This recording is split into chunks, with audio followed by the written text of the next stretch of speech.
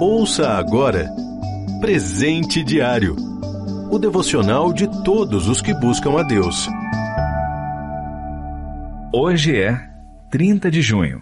O título de hoje é O Caminho.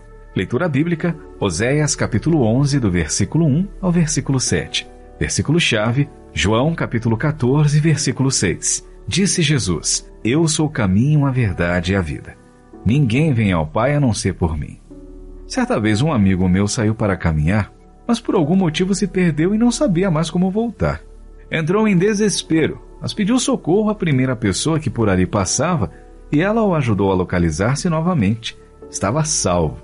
Na leitura bíblica de hoje, Deus lamenta que, apesar de ter cuidado de Israel com amor, carinho e bondade, seu povo insistia em afastar-se dele, não importava o quanto o chamasse, e isso certamente os levaria à morte. Infelizmente, isso acontece até hoje.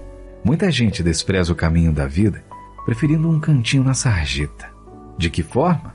O pecado, a desobediência a Deus nos afasta dele. À primeira vista parece muito agradável fazer apenas o que se tem vontade, mas o fim desse tipo de vida é terrível.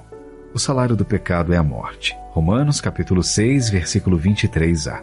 Não podemos nos enganar, achando que as nossas boas ações serão suficientes para agradar o Senhor, pois a Bíblia também é clara ao dizer que o bem que realizamos não passa de trapo imundo.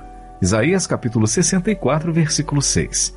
Nossa natureza é depravada pois se seguíssemos apenas nossos desejos, ficaria claro o quanto somos egoístas, orgulhosos e maus.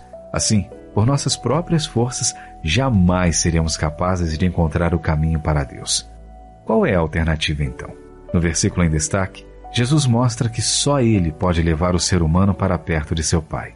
Ele pagou o preço da reconciliação e ao ser humano resta agarrar-se a isso pela fé. A única coisa que nós podemos fazer para ficar em paz com Deus é crer que Jesus é suficiente.